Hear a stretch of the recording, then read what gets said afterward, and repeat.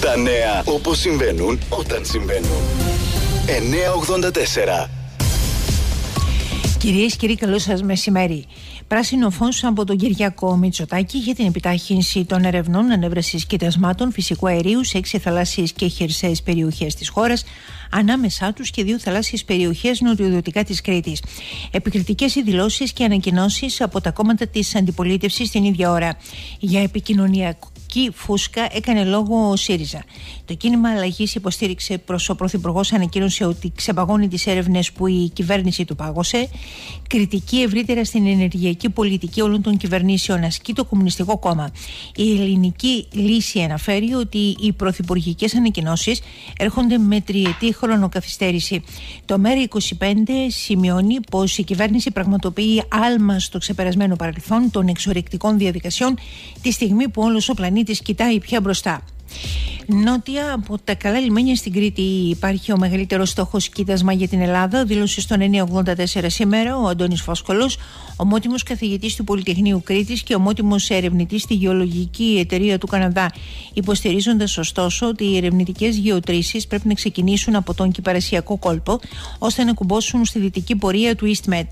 Χαρακτήρισε αναλφαβητική ε, αναβλητική ζητώ συγγνώμη, φιλολογία τα περί πιθανότητας κοιτασμάτων και υποστηρίζει πως αν ούτε τώρα γίνουν τολμηρά άμεσα βήματα για την αξιοποίηση του φυσικού μας πλούτου θα χαθεί μια τεράστια οικονομική ευκαιρία για να αλλάξει άρδιν η οικονομική κατάσταση της χώρας αφού όπως λέει τα κοιτάσματα στην Ανατολική Μεσόγειο με επίκεντρο τον υποθαλάσσιο ορυκτό πλούτο της Ελλάδας μπορούν να καλύψουν το μεγαλύτερο μέρος της ενεργειακής αυτάρκειας των επόμενων 10 ετιών στην Ευρωπαϊκή Ένωση. Ο Ηλίας Κονοφάγος, μέλος της Επιτροπής Ενέργειας της Ακαδημίας Αθηνών, μιλώντας επίσης στον 984 και στον Γιώργο Σαχίνη για τις εξελίξεις, εμφανίστηκε επιφυλακτικός ως προς την κατανόηση στρατηγικά από το πολιτικό σύστημα τη σημασία αυτών των πόρων, σημειώνοντας παράλληλα ότι μετά από τόσα χρόνια χαμένα και μάλιστα άδικα, τουλάχιστον οι γραφειοκρατικές διαδικασίες σε αυτό το τομέα θα πρέπει να αλλάξουν τάχιστα, ώστε σε δύο χρόνια το πολύ να μπορούμε να αξιοποιήσουμε άμεσα τα κοιτάσματα που θα κρυθούν κατάλληλα Όπως μάλιστα επισήμανε, σε αυτή τη φάση σημασία δεν έχουν οι ποσότητες, αλλά η επιβεβαίωση και τυπικά των προσδοκιών και κοιτάσματα, αφού κάτι τέτοιο θα λειτουργήσει στην οικονομία θεαματικά με τη ροή κεφαλαίων εν ώψη των επιβεβαιωμένων προσδοκιών. Συνεχίζεται η ρωσική εισβολή στα ουκρανικά εδάφη με τον Αμερικανό πρόεδρο Τζο Μπάιντεν να κατηγορεί το Ρώσο ομολογό του πως διαπράττει γενοκτονία στην Ουκρανία.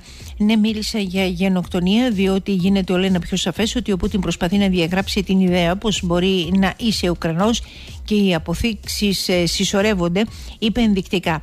Ουκρανικές, Βρετανικές και Αμερικανικές αρχές διερευνούν την ίδια ώρα τις κατηγορίες Ουκρανών μαχητών περί ρήψης χημικών όπλων στη Μαριούπολη από το ρωσικό στρατό. Ακόμα όμως δεν έχουν επιβεβαιωθεί.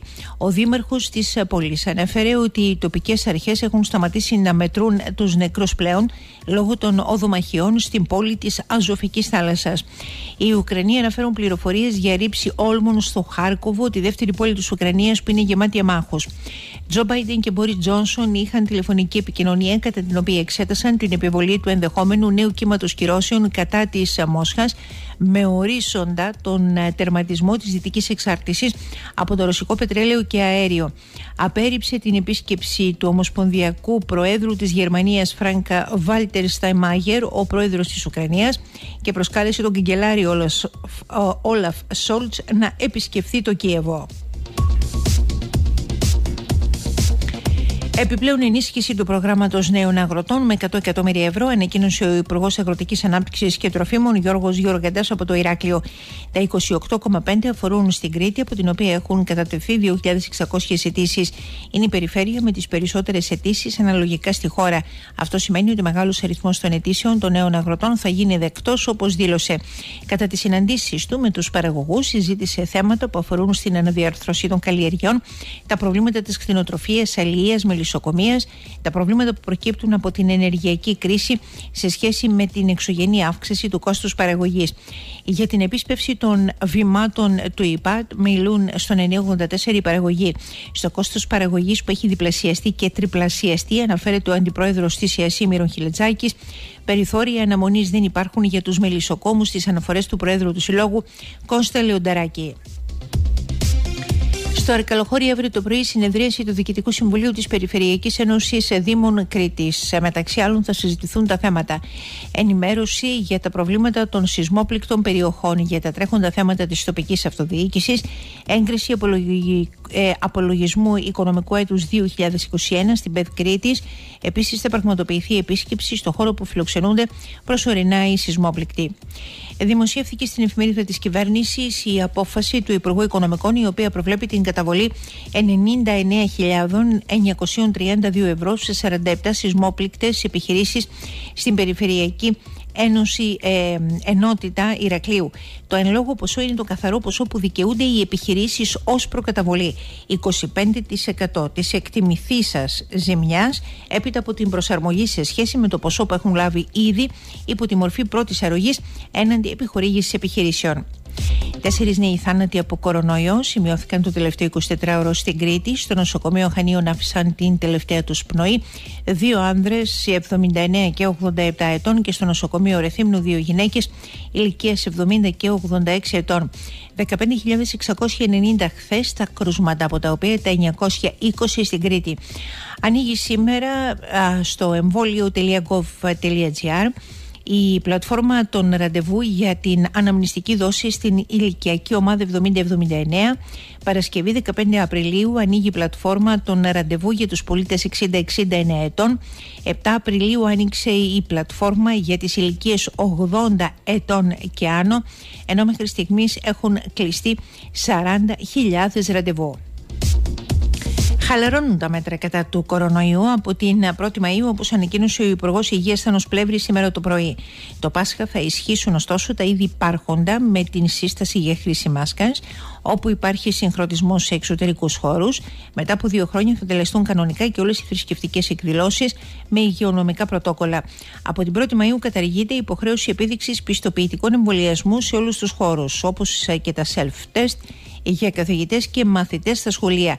Το μέτρο στην πράξη όσον αφορά στις σχολικές μονάδες θα εφαρμοστεί από 3 Μαΐου με την επαναλειτουργία τους μετά τις διακοπές του Πάσχα. Θα υπάρξουν διευκρινήσεις στο πρωτόκολλο που θα αφορά στην επαφή με τα κρούσματα. Από την 1η Ιουνίου καταργείται η χρήση μάσκας στους εσωτερικούς χώρους. 1η Μαΐου εάν εμβολιαστεί θα προσέρχονται στην εργασία τους με ένα rapid test ενώ από την ίδια ημερομηνία έως τις 31 Αυγούστου επανέρχεται η λειτουργία όλων των χώρων στο 100%. Από 15 Απριλίου αναστέλλεται το πρόστιμο των 100 ευρώ στους ανεμβολίαστους πολίτες άνω των 60 ετών. Όλα τα μέτρα, όπως είπε ο Υπουργός, θα επανεξεταστούν την 1η του Σεπτέμβρη. Ανεύθυνοι και επικίνδυνοι πειραματισμοί του Κωστή Χατζηδάκη για την έκδοση των εκκρεμών συντάξεων καταγγέλει το ενιαίο δίκτυο συνταξιούχων μετά την κατάθεση της τροπολογίας που δίνει τη δυνατότητα της έκδοσης των συντάξεων ένα τρίμηνο μετά την κατάθεση των δικαιολογητικών που απαιτούνται και στη συνέχεια την εξέταση ενδελεχώς των φακέλων των συνταξιούχων με τις όποιες διαφορές προκύπτουν, ωστόσο να επιστρέφονται. Περίπου 420.000 κατασχέσεις σε τραπεζικές καταθέσεις, μισθούς, συντάξεις, ενίκεια, πάνω από 3.600 600 πληστηριασμού και 16.418 δεσμεύσεις ακίνητων επέβαλαν σε οφειλέτε του δημοσίου οι υπηρεσίες της ΑΑΔΕ τη διετία 2020-2021. Παράλληλα, από τα 111,4 δις ευρώ των ληξιπρόθεσμων οφειλών προς τις φορολογικές αρχές, τα 66,78 δις ευρώ οφείλονται μόλις από το 0,032% του συνόλου των οφειλετών, δηλαδή από περίπου 1.300 φυσικά και νομικά πρόσωπα. Από το σύνολο των ληξιπρόθεσμων χρεών προς τις φορολογικές υπηρεσίες, μόνο το 1 τέταρτο περίπου θεωρείται ως το πλέον εισπράξιμο. Κλειστό σήμερα το μουσείο, το Αρχαιολογικό Μουσείο Ηρακλείου εξαιτίας της απεργιακής κινητοποίησης των αρχαιοφυλάκων με τη συμμετοχή τους στην απεργία της Πανελλήνιας Ένωσης Υπαλλήλων Φύλαξης Αρχαιοτήτων επιθυμούν να βάλουν τέλος στην επισφάλεια της εργασίας που βιώνουν όπως αναφέρουν ενδεικτικά. Εξώδικο προς τη Δημοτική Αρχή Ηρακλείου απέστειλε ο Σύλλογος Γονέων και Κηδεμόνων του 7ου Δημοτικού Σχολείου Ηρακλείου, κάνοντας λόγο για μεγάλες καθυστερήσεις σε ό,τι αφορά τις εργασίες επισκευής του σχολείου τους, το οποίο επλήγει από το σεισμό των 6 ρίχτερεν πριν από 6,5 μήνες. Όπως τονίζει, οι υποσχέσεις των αρμόδιων έπεσαν στο κενό, τόσο με την παράδοση της στατικής μελέτης, όσο και με την έναρξη εργασιών επισκευής του σχολείου. Παράλληλα, στο εξώδικο γίνεται λόγος για κολυσιεργίε του Δήμου. Παγκρίτιο μαθητικό διαγωνισμό διηγήματος προκυρήσουν με αφορμή τη συμπλήρωση 100 χρόνων από τη Μικρασιατική καταστροφή ο Σύλλογος Αλατσατιανών Νομού Ηρακλείου, η Ένωση Φιλόλογων Ηρακλείου με την στήριξη της Περιφερεια. Την αρσή της ασυλίας του βουλευτή ΣΥΡΙΖΑ, Παύλου Πολάκη, αποφάσισε η Βουλή με 158 ψήφους υπέρ και 102 κατά. Νωρίτερα σημειώθηκε έντονη αντιπαράθεση μεταξύ Πολάκη Αραμπατζή μετά από μήνυση για συκοφαντική δυσφήμιση που κατέθεσε σε βάρος του κ. Πολάκη η βουλευτής της Νέας Δημοκρατίας με 360 γραμμάρια κοκαίνης και το χρηματικό ποσό των 1.965 ευρώ συνελήφθη ένας άνδρας στο Ρέθυμνο. Κατασχέθηκε η δίκυκλη μοτοσυκλέτα του, μία ζυγαριά ακριβίας και ένα κινητό τηλέφωνο. Εξηχνιάστηκαν τρεις υποθέσεις ληστείων σε πεζούς στο Ηράκλειο, σχηματίστηκε δικογραφία σε βάρος τεσσάρων ατόμων, αφορά σε Έλληνες και αλλοδαπούς, Επιπλέον συνελήφθη μία ροδαπή για παραμέληση εποπτείας ανηλίκου. Ο εισαγγελέας τους άσκησε δίωξη σε βαθμό κακουργήματος. Παραπέμφθηκαν στην πρώτη ανακρίτεια Ηρακλείου σήμερα, όπου στο σύνολό τους ζήτησαν και πήραν προθεσμία για να απολογηθούν την Παρασκευή.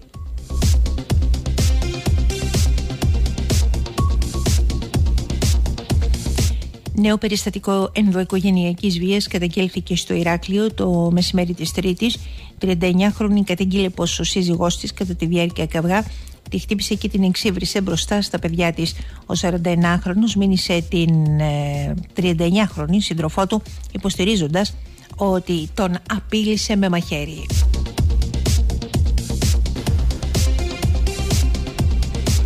Τροχαίο νωρίς το πρωί στις Κελβής από Κορώνου στα Χανιά με τη σύγκρουση αυτοκινήτου μηχανής. Αποτέλεσμα ήταν ο τραυματισμός των οδηγών και του αυτοκινήτου και της μηχανής. Τροχαίο στο Ηράκλειο τα ξημερώματα με αποτέλεσμα 24χρονο να μεταφερθεί στο νοσοκομείο όταν το αυτοκίνητο που οδηγούσε βγήκε εκτός πορείας, έπεσε πάνω σε παρκαρισμένο αυτοκίνητο και προκάλεσε ζημιές σε άλλα δύο. Σύλληψη 50χρονου για όπλα πυρομαχικά και πακέτα τσιγάρων σήμερα το πρωί στο λιμάνι της Σούδα. Αναφέρει το λιμενικό σε ανακοίνωσή του. Μετά τον κατάπλου του πλοίου της γραμμής εντοπίστηκε ύποπτο δέμα, το οποίο τέθηκε υπό διακριτική επιτήρηση. Το παρέλαβε 50χρονο και μέσα σε αυτό περιεχόταν 98 πακέτα τσιγάρων, τα οποία δεν έφεραν την ειδική ταινία ασφάλειας γνησιότητας. Ακολούθησε έρευνα στο αυτοκίνητο και στο σπίτι του βρέθηκαν 101 φυσίγγια και 9 μαχαίρια. Τα παραπάνω κατασχέθηκαν από το κεντρικό λιμεναρχείο Χανιών. Στα υψηλότερα επίπεδα που έχουν καταγραφεί από το 1981 επιταχύνθηκε το Μάρτιο ο πληθωρισμός στις Ηνωμένες Πολιτείες. Διαφωνίες στη Γερμανία για το εξοπλιστικό πρόγραμμα, τη βοήθεια στο Κίεβο και τις σχέσεις με τη Μόσχα. Ο Ιρανός ηγέτης Αλή Χαμενεή δήλωσε ότι οι διαπραγματεύσεις για την αναβίωση της συμφωνίας του Ιρανικού πυρηνικού προγράμματος που επιτεύχθηκε το 2015 μεταξύ της Τεχεράνης και των έξι μεγάλων δυνάμεων προχωρούν καλά και κάλεσε τους διαπραγματευτές να αντισταθούν στις πιέσεις. Συγγνώμη για την εμπλοκή τους στο λεγόμενο Partygate ζήτησε ο Πρωθυπουργός του Ηνωμένου Βασιλείου Μπόρις Τζόνσον όπως ανέφερε ωστόσο δεν πρόκειται να παραιτηθεί. Το Κοινοβούλιο του Περού ενέκρινε νομοσχέδιο που έρει προσωρινά το φόρο προστιθέμενης αξίας σε βασικά τρόφιμα ώστε να επιβραδυθεί η αύξηση των τιμών που πλήττει σκληρά τους πολίτες τους τελευταίους μήνες. Στις Φιλιππίνες 59 άνθρωποι έχασαν τη ζωή τους από το πέρασμα της καταιγίδας Μέγκης σύμφωνα με το νεότερο απολογισμό. 984 Νέα και σπορτς στην ώρα τους. Ανοίγει σήμερα η Ευλαία για την 31η αγωνιστική της Super League 2. Η Ρόδοτος παίζει στην Αθήνα κόντρα στον Απαοβίτα. Την Καλυφαία υποδέχεται ο Εργοτέλης. Στη Σπάρτη και κόντρα στον Αστέρα Βλαχιώτη δοκιμάζεται ο Φιεράπετρας. Στην Αθήνα κόντρα στην Κυφυσιά παίζει η Επισκοπή. Τώρα, με τις αναμετρήσεις Ατλέτικο Μαδρίτη Manchester City και Liverpool Μπεφίνκα ολοκληρώνεται απόψε η τελική φάση του φετινού Champions League. 984. Ο καιρός. Σχεδόν εθνικό ο καιρός στην Κρήτη, άνεμη αποβορής διευθύνσης στα 3 με 5 μποφόρ έως τους 19 βαθμούς Κελσίου η θερμοκρασία. Κυρίες και κύριοι, στο σημείο αυτό ολοκληρώθηκε η αναλυτική σας ενημέρωση από τον 984 στο στούντιο Αγγέλα Δουλγεράκη και Νίκος Φακιανάκης. Καλό σας μεσημέρι.